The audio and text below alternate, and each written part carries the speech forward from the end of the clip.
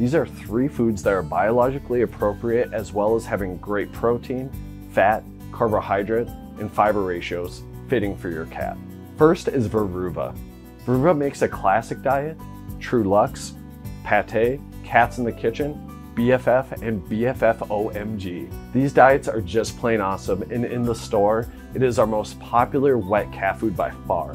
It comes in many varieties, moisture levels, proteins, textures, and more. All of Weruva's diets will be low in carbohydrates with proper amounts of fat and protein, all while making sure that there is everything your cat will need. Take a peek at our website to see all that Weruva has to offer. Second is Koha. Koha Pure Shreds will be just in three forms at the moment, but each one is super healthy and uses chicken primarily in each diet. I like it due to its simplicity and it's used as pumpkin and carrots as superfoods, perfect for cats with digestion issues.